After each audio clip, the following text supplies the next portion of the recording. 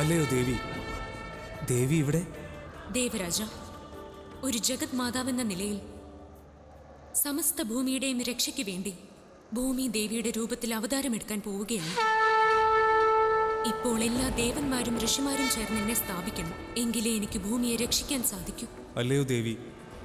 ഹിരണ്യാക്ഷന് അനേകം വരദാനം പ്രാപ്തമാണ്. അയാളെ പരാജയപ്പെടുത്തുക എന്നത് അസംഭവ്യമാണ്. ആ അസുരൻ എത്രമാത്രം ശക്തിശാലിയായിരുന്നാലും ശരി. ആ അസുരന് ഒരമ്മയോട് ജയിക്കാൻ സാധിക്കില്ല.